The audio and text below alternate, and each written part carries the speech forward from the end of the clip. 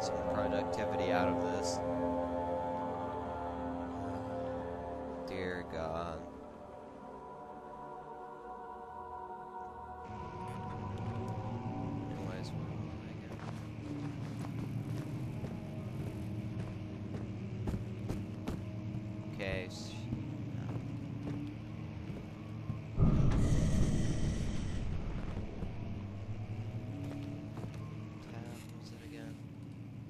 Slight headache, all is good.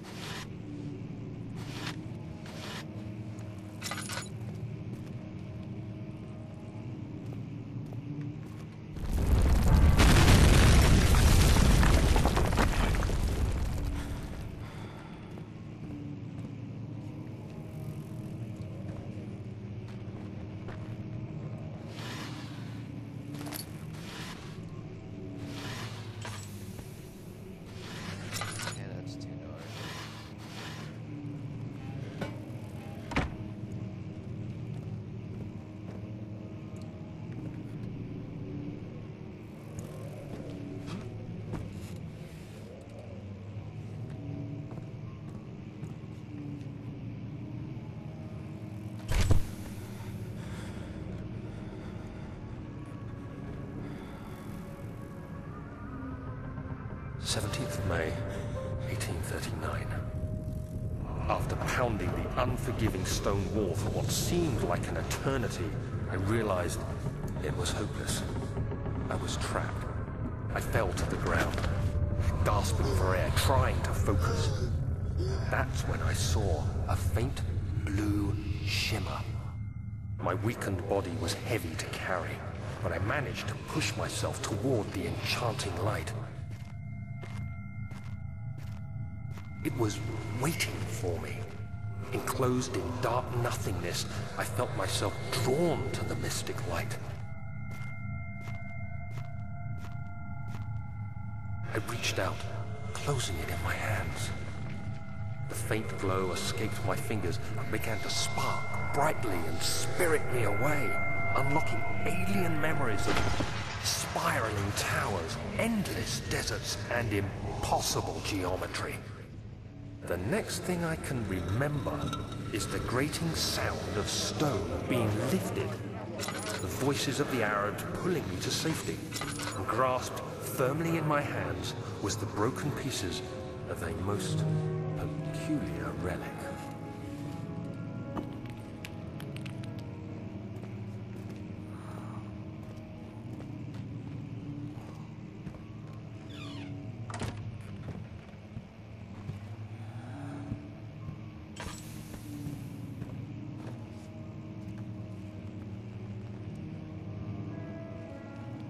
Ah, come on.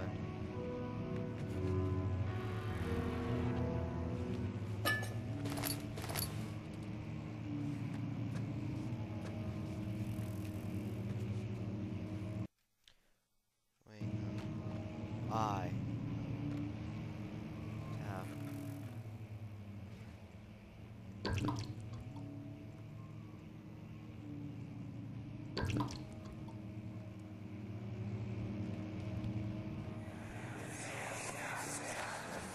Much of the castle is old and hasn't been tended to for centuries. When the shadow arrives, it won't take long until things start falling apart. We're just buying time anyway. Let's do what we can. There isn't much to be done about the wars. We should reinforce weak structures.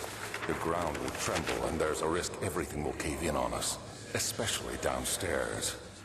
Here, here, and there. Let's get the servants working on it.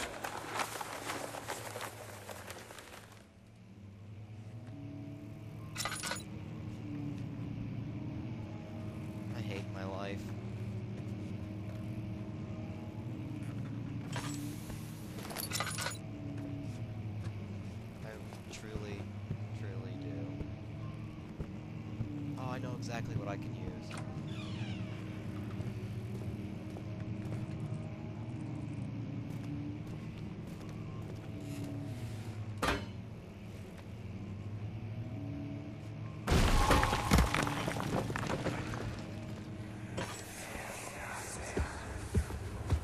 You have to be swift when you activate the first one. You hear that? If it stops, you'll have to start over. Isn't all this a bit excessive? You can never be too careful, Daniel.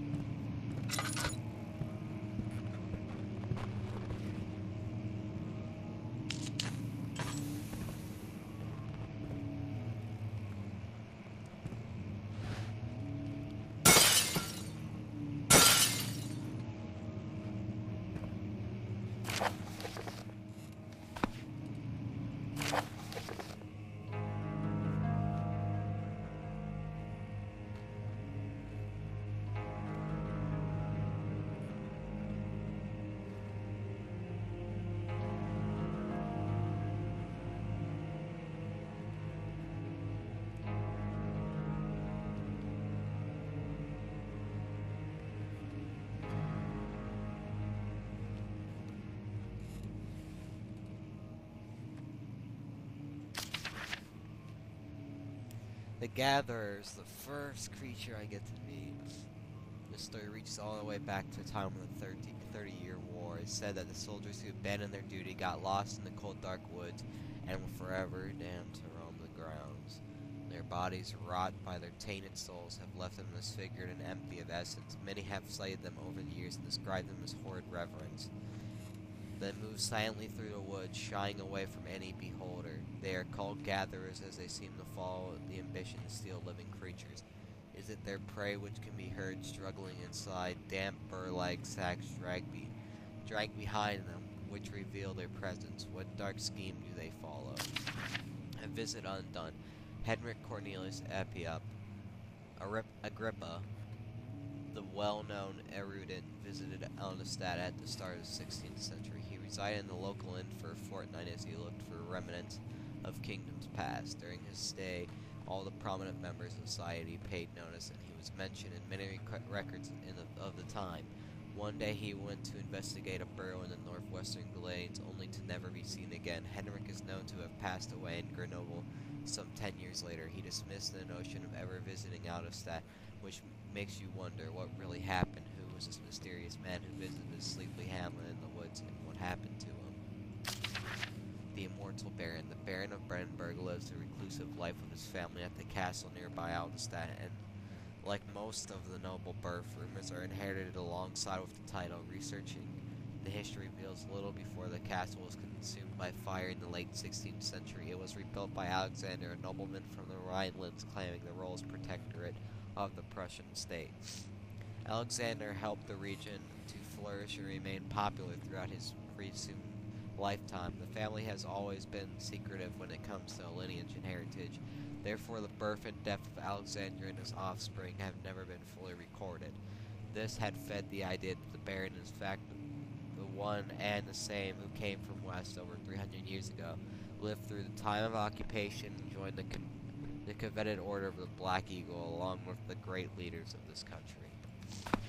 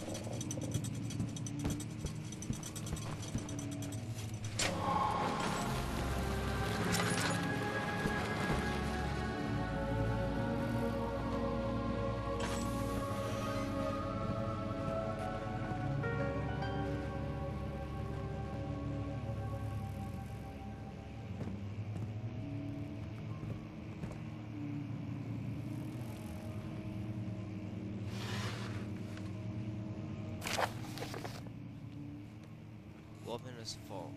Maybe I will feed them some wine at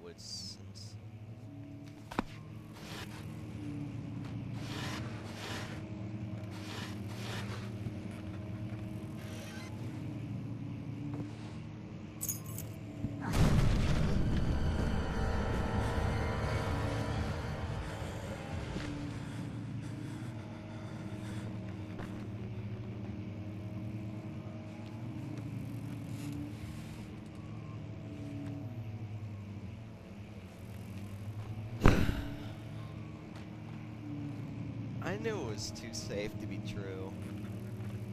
I really did. Well, I think it's been 15 minutes, so I'll pause the recording, check everything out, and maybe post this while I'm doing another one.